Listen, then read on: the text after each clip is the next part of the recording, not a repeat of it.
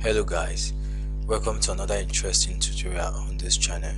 And in this very video we are going to be building a multiple user authentication in a REST API using Django REST framework. Alright so you agree with me that there are a lot of applications that demand you to build different level of users. Um, examples are like a hospital management system or a school management system where you have maybe teacher users and maybe student users. We get different users. We have their separate dashboard with different restrictions and all that. All right so and also we'll be building a a react and ui to actually test this uh, application better. So we'll build a very simple ui in react to see how we can authenticate uh, different kind of users. And that's that. And then lastly um, this is my own opinion. This is just me coding out of my head. There may be a better way this can be done. All right so this is just one of it and this one works perfectly well so it can be improved.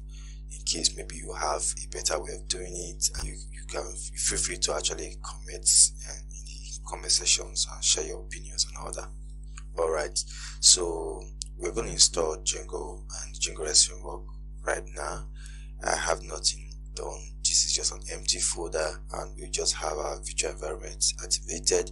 I believe that should not be a problem to any of you. All right so we're going to install django and django rest framework right now. All right so we'll say pip install django and django rest framework and also let's just install the django cors header. All right so this will take some few minutes to install. So we'll come back when our installation is done. Alright so once we have our installation done so we need to create a project. So we're going to say django dash admin start project. Alright so we have that already. So we'll use it into core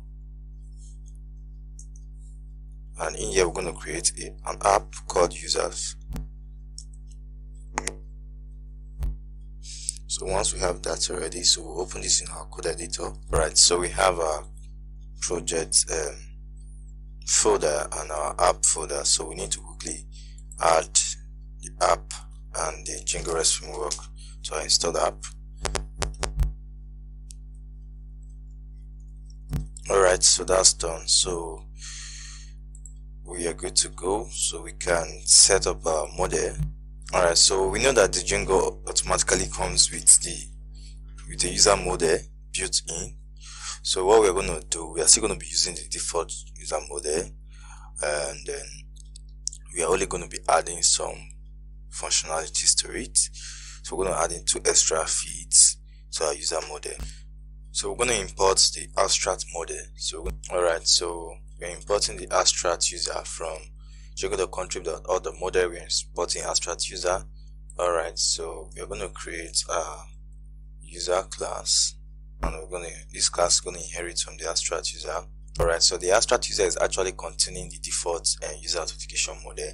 So what we're going to do we're going to add extra feeds to it. We are not making any changes. It's still going to be using the default authentication system but we're also adding extra uh, feeds to the authentication model. Alright so in this case we are going to be adding two feeds. One is called um, freelancer because we're going to be using something like a freelancing uh, platform where we have users that are freelancers we have users that are employers who are there to employ freelancers and freelancers are there to look for jobs and the second user we want is um, its clients.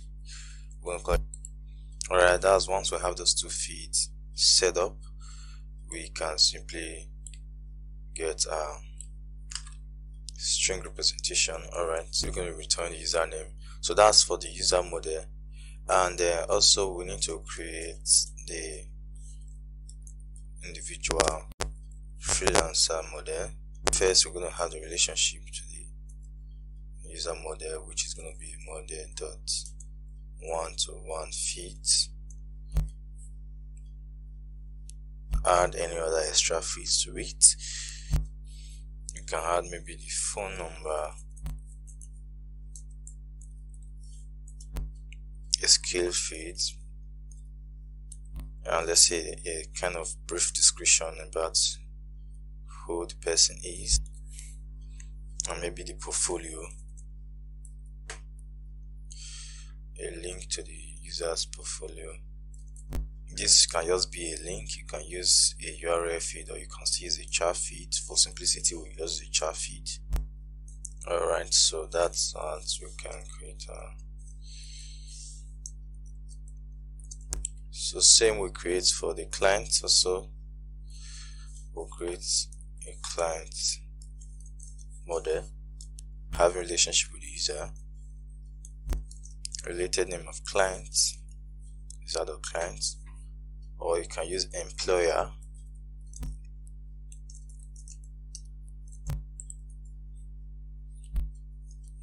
This may have something like a company name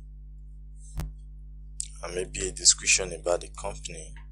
If you have any other feeds you can add to it but I think this will do. So we just simply return a string object so return the company name. Alright so so these are the two extra model another thing we need to do is because in a REST API we normally use token authentication. So similarly we're also going to be using token authentication. So we need to set up our token authentication. And for that we'll be using the um, basic and default token authentication that comes with the Django REST framework. So if you check the documentation you see the token authentication. So we need to add it to add some settings. First of all we need to address and let's go configure auth token and also we need to set up the token model. So first we're going to import the token model from um, from REST framework from REST framework token dot models. We want to import the token model. Installed app so we go over to our settings and we need to add to add the rest rest framework dot auth token now the concept is simple is whenever a user is signed up that is a new user is created we automatically want to create the token model or the token for that uh, particular user. So we'll be doing that using signal and uh, also before that we need to let you know that we'll be using this new uh, user class not the default user class. So we'll set that up in the settings file. Settings file and in here somewhere around we're just gonna place in the so we're gonna call it odds so we're gonna set this equals to the users app dot the user class. All right and lastly the REST API settings. So we're going to place that here too. Alright, where we are setting default authentication classes to use the token authentication. Alright, so that's that. I think on that settings we need to set is uh, the email, our account email. Alright, by default the Django um, model actually make the email feed optional alright so we want to make that unique. So we're going to put the settings here call accounts underscore email underscore unique email true. So this will make our email feed unique. Alright so that's so that so what we need to do next is uh, how to generate a token for our user. So we're going to be doing that using signal. So whenever a new user is created want to generate a token in a token model which we have imported from the auth token REST um, framework.authtoken. So we need to import some other things for us to create a signal. First, we're going to say from django.db.model.signal import. We're going to import the post save, the post save signal. And we also need to import the receive the receiver from dispatch. So we're going to say from django.dispatch can place that here. I don't want to create some other files because it's just one um, signal we are creating. So we're going to place that in our models file. And um, so we're going to create and call it create token and this function is going to take in some uh, parameters and uh, any other keyword argument. Simple. We're going to set if created is true. We want to create and by send it. And lastly we need to bring in the receiver's decorator. First of all we're going to pass in the signal which is a positive and here we're going to set the sender. What is sending it which is our model. So we're going to say setting dot out let's user model all right so that's the user model. I'll be sending the signal. And what signal is sending? The positive so whenever this model is saved as a new user is created we want to create a token for that user. So in our token model we have a user feed which will be the instance that is being created. All right. So that's all for creating a token. Uh model aspect is completed. I think we can create a super user now to test that. And first of all let's run our migration by saying python.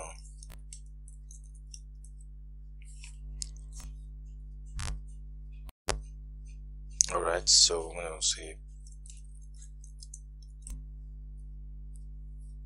alright so we can test by creating a super user say python manage. Alright so we created a super user. So we're going to run back our server.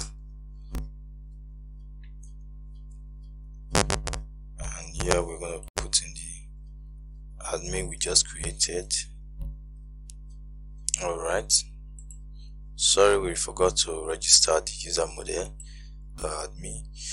Um, we just quickly do this out alright so once we have our three user model, uh, model registered which is user model freelance and all that so we can go back to our admin page and just refresh. Yeah see we have our model. So if we check we can see our admin. And let's check the two fields that we just added. You can see the is freelancer is client alright that's working fine. So let's check if this user has a token. So if we go and what we need to do we need to start creating an API around it. The way we're going to structure our API is inside the user app we're going to create a new folder. We're going to call this folder API so we're going to keep our API in a separate model in here we're going to create uh and that's for the API folder. And so in here we're going to create all our API related files like this serializer that as one. So we also need to create the URL file. So inside our API folder we create its own special view. Alright so so let's start from the serializer alright so we're going to import the serializer. Okay so we need to import our models. Alright. And here we need to create a serializer class. So first of all we'll create a general user serializer class. As usual we're going to create a class. Specify our model. Go into the user model Um, and here we're going to specify the feed client. Alright so we're getting those three feed. We don't want to display the password to anybody so this will give us our user object. Now we're going to create another serializer for signing up users. So we're going to create a freelance sign up serializer. And this. Yeah we're going to create the password too I'm to set this to input sorry password.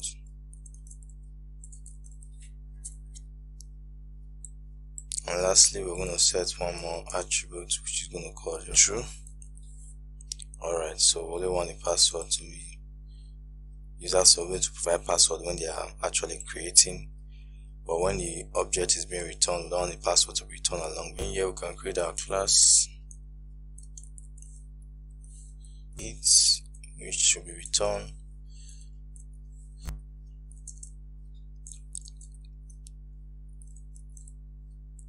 So two all right so next we're gonna create something like an S extra right?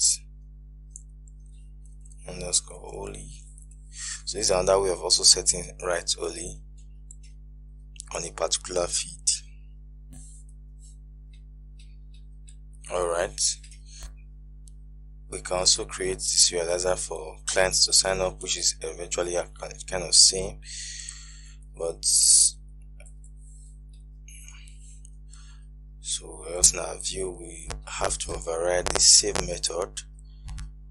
That is where we're going to perform a kind of um, logic to differentiate the users when we are implementing the save method. So have that in mind. So for now our serializer is fine.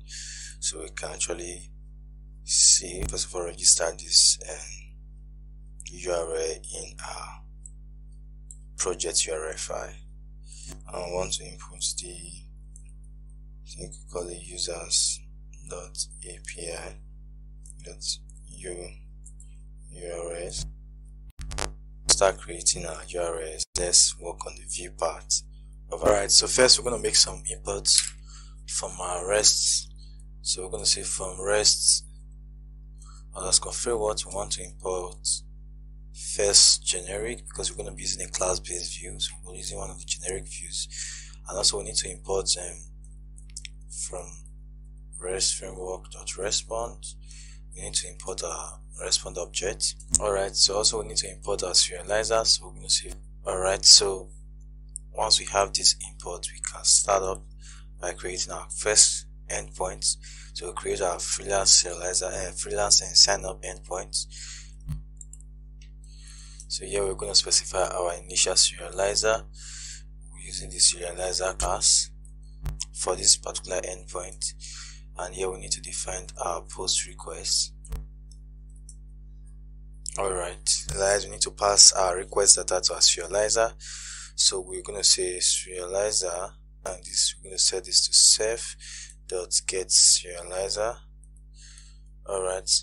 Here we're going to pass in the data equals to our request dot data which is the data that's coming from our request. So once we get this we want to say serializer dot is underscore valid. True alright. Once we have that if the serializer returns valid so we want to save want to once we save we want to return. And um, this response is going to be a dictionary. First we're going to have our user which is going to be our user serializer. Now we're going to use our uh, user serializer. First we're going to pass in the data instance that we want to serialize which is the instance we just create. All right and some other uh, arguments. So what we're going to do now we're going to pass we need to save this sorry save this serialized uh, user in a variable called user and we're going to pass this user to a serializer. And here we're going to pass in some context which is going to be obviously equals to self dot get self.get underscore serializer context alright then we're going to say dot data.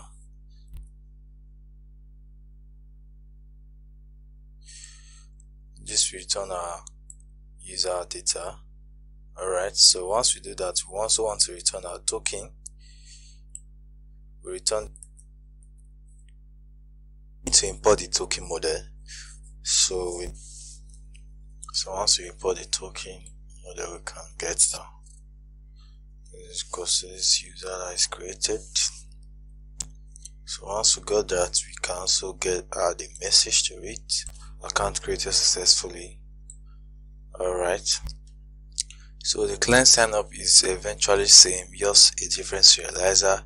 So what we're going to do we we'll just go and grab everything yeah paste it here then here we just change client sign up view then here we're going to change it to here that remains same.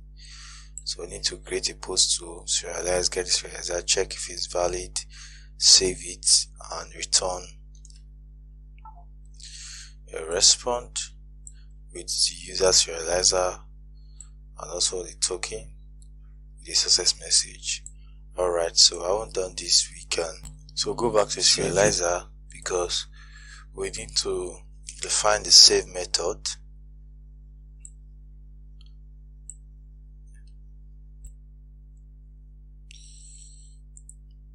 Alright, so we're going to override the save method because actually once the data is being passed to the serializer and the serializer validates the data, it actually calls the save method. And this save method is actually what performs the SQL operation of saving our information into our database.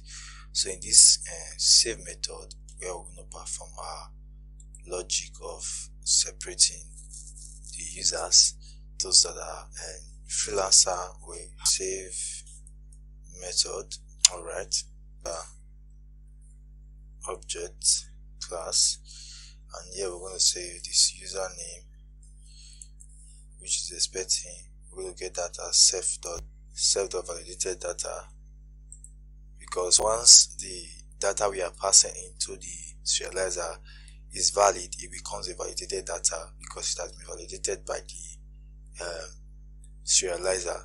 Alright, so this is coming as a dictionary, so we want to access the username. And secondly, we have the email feed.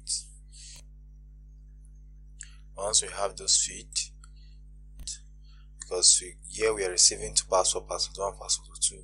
We're only going to be saving one of the password, while the other one is just used to validate if the password matches. So we're going to extract the password.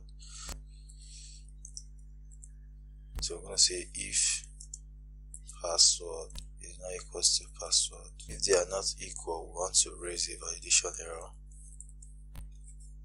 Alright. So this will be the error message I will get if for any reasons this password does not equal this but if they are equal we want to proceed by setting the password. So if they are equal we want to say the user dot set password we can set the user dot is because the user is not a freelancer then before we save the user. So once we save the user user we want to automatically create the freelance um, model. Alright. Here we define the, the freelance model. So once automatically we recreate this model once the freelance user is created and for that reason we are going to set many of these feeds these keys to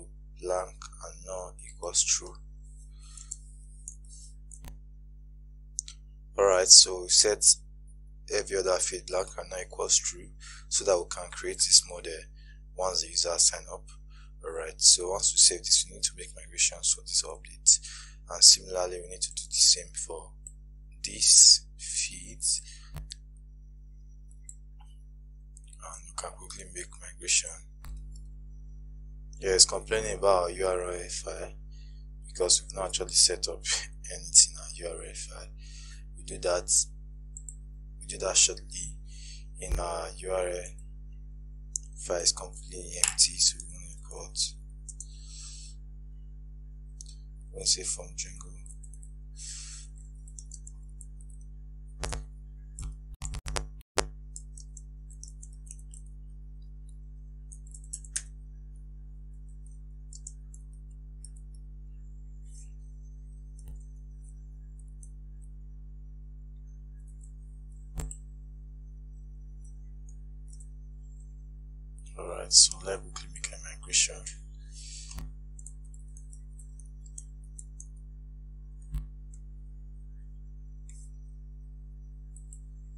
Once we save the user, we want to quickly create a freelance model. So we need to import the freelance model. I think we've done where the user is equals this user that was created. Alright, so once we do that, we want to return the user. Return the user back. And then similarly, we also need to do that for uh, the client users that's the client sign up also. So we'll just grab the same method. So once we bring it in here we'll just simply make some little changes. Here we need to change the sort of is then is client equals true and we save the user. Once we save the user we want to call the, the client user. So that's all alright so that's for the save method. So we can save both files.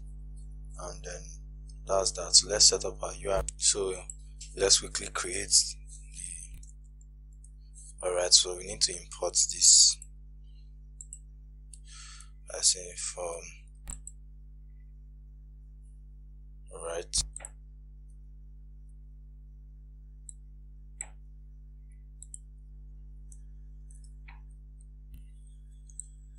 alright so this was this gives us our two endpoints. If we can actually sign up as a freelancer or as a client we'll be using postman to test for, for now so let's quickly run our server. Alright so no issues. So let's quickly spin up a postman. And uh, so here we're gonna quickly enter your uh,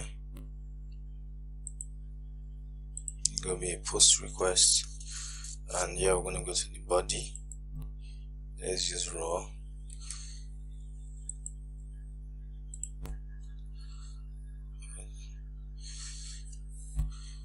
so let's quickly bring this one first. So once we have this let's test our API and see if we can create a freelance user. If we send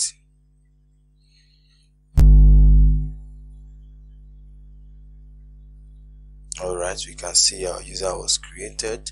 We are receiving 200 ok and you can see the user object the token is coming back. Check our database and then let's just check the user. We can see our freelance user was created. So if we check and let's check the value of this we can see the is freelancer is checked alright we can see a token was generated for him. So that's how we, if we can create a client user. We can also use same password that does not matter. So let's send and see if we can create a client user. Alright you can see we have a user object sent back. You can see this client is true and you can see the token sent back. Alright so if we go back to uh, model we can see we have the test client one and test freelance next we we have to create separate permission for both of them because we may have to create maybe some setting endpoints where only clients can access a freelancer cannot access that. So that's the reason why we need to create a permission for both of them so that when we have the permission of maybe his client is only any any view that has that permission is only clients that can access that view. Same thing for freelancer. So before we do that let's set up the login endpoint. And that is very simple to do because the token authentication already give us a view out of the box that we can just extend and add some little functionalities to it. It comes with its own view and serializer so we're going to pick that and build up top of it. So let's go out to our view. First of all let's do our import. I'm sorry um,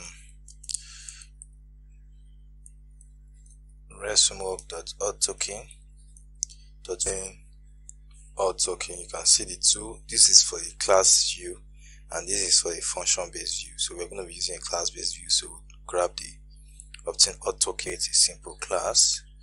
And we can just call it custom. And here we just define the post request. The self.serializer class. Alright. Now you may be wondering where are we getting serializer from? Inside this uh, obtain token class that, that we are receiving it has a serializer part of it. So we are using their default serializer. And this serializer is expecting the username and password. Alright as the request data. So here we're going to say that our context to saying this time it's the request. We're passing the request to the context once you do that you can call the validate is valid on serializer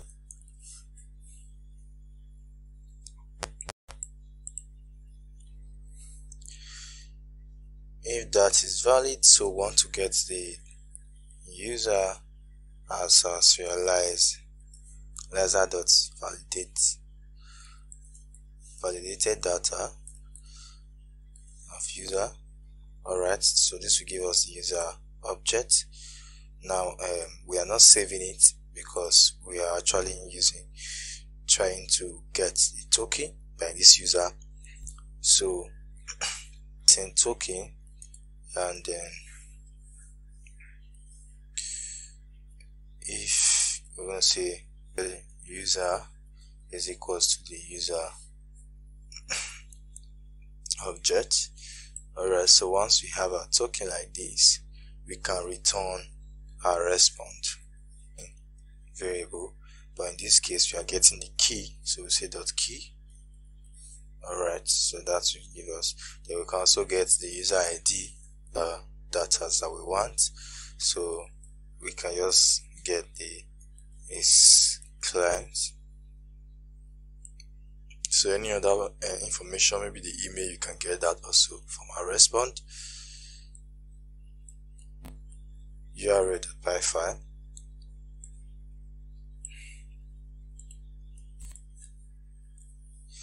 you need to bring it in. You can also add your name right? So that's that.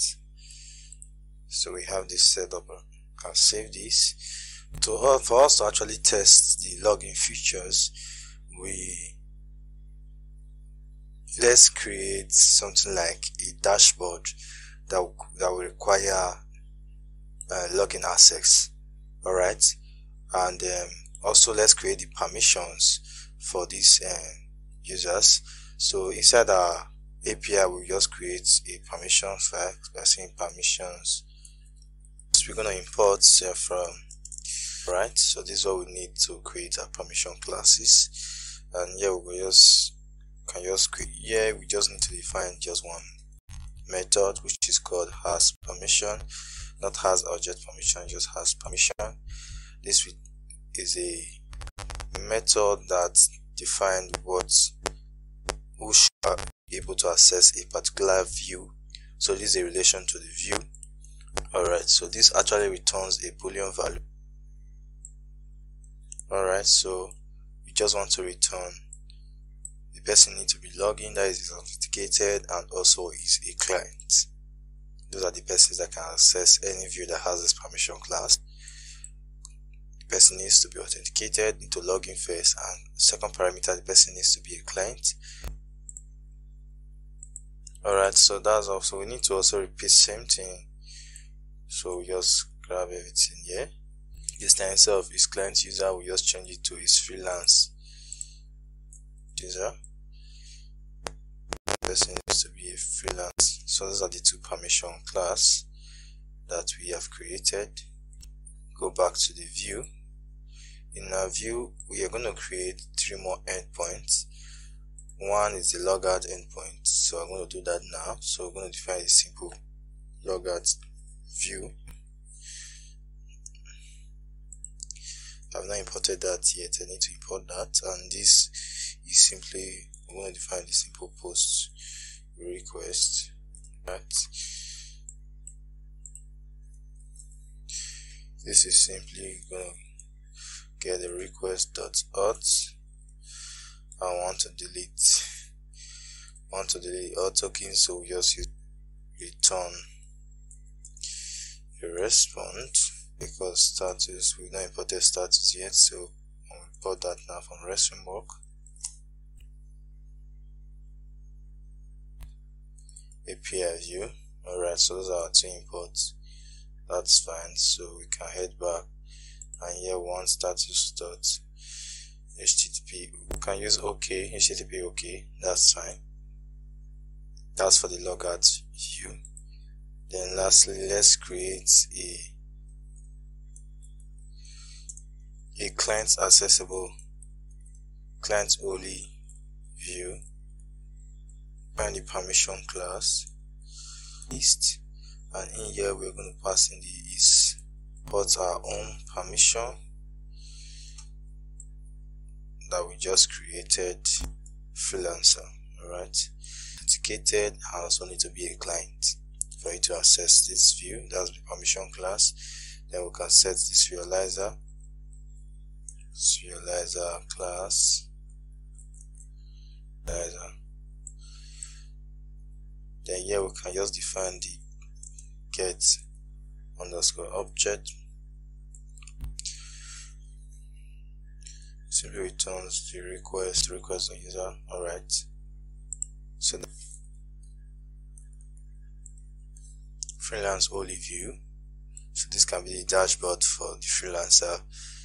Here we use the permission class. And this time it's gonna be the alright the same. Serializer same and gets user object alright so we can save this. Now let's create the urls for these endpoints we are going to create a url for alright so these are our url setup for the freelance dashboard the client dashboard the logout login. So let's quickly save. We're going to test that all this. Alright so let's head back to let's make sure our server is up and running. So let's just start back our server. Another endpoint let's try and access um, client view get request if we send we get authentication credentials being not provided Alright, so let's try and log in now. To the login.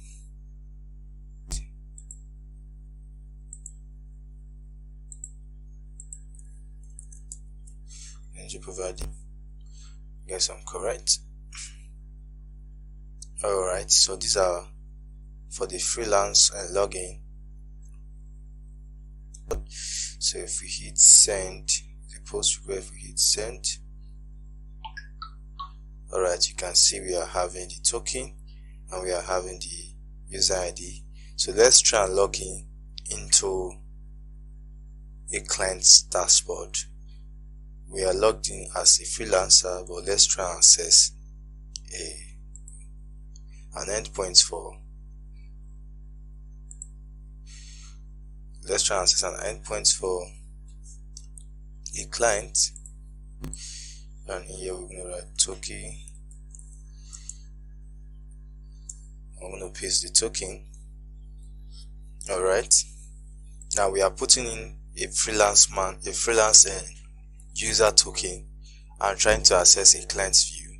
So let's see what will happen if we try this. So once we hit the send you can see you do not have permissions to perform this action. Alright. That show is actually working fine. Though our, we are getting 403 forbidding that means you are forbidden for accessing this particular endpoint because you are not a client alright? So it's working fine. Then if we now try to access a dashboard for freelancer so let's go to the header and uh, provide authorization.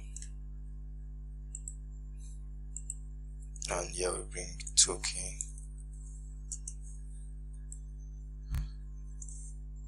alright so if we haven't done this so let's try and send a request one more time. You can see we are getting back the username getting back the email getting back our data fine. So it's actually working very fine. We can test that. You can see that. You can log in with a freelance user and a freelance user cannot access a client's dashboard. All right but if we log in as a client we can easily access our dashboard. So let's try and log in as a client now client now. So bring it i've provided our client's username and password. It's a post request so we can send a request now. All right we can log in. You can see we get 200 okay. And you can see the token is sent back the user id is sent back. Sorry and this client is set through. All right our api is up and running. We can sign up as an, a freelance user. We can also sign up as a client user who's looking to hire a freelancer. And we can also log in as both users. All right so our multiple user authentication system rest api is working fine. So i'm going to end this tutorial here. In our next tutorial we will spin up a react application.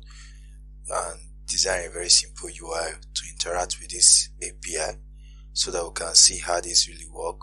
So see you guys in next video. Please please don't forget to subscribe and give this video a thumbs up. See you guys in our next video and happy